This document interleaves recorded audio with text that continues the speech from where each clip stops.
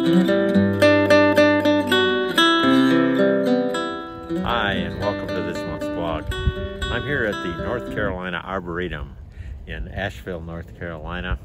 It's an absolutely gorgeous day, and uh, right now it's getting ready for the holidays.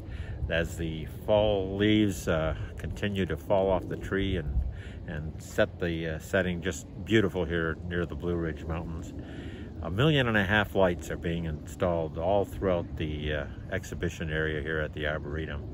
And it's one of the ways Asheville has marketed itself. Obviously, it's a great destination during the summer and the early uh, fall and spring. But the holidays is also a very big time here. And the, uh, the city embraces the holiday and, and uh, brings more people back here uh, at this time of the year than some of the other times. As a matter of fact, we're going tonight to see the Christmas light uh, exhibition at the Biltmore Estate, which promises to be absolutely beautiful. So we're going to walk around the uh, grounds here in the gardens and enjoy just the clear, fresh fall air as you get ready for the holidays. Hope you have a wonderful Christmas season and a Happy New Year. See you next time. Thanks.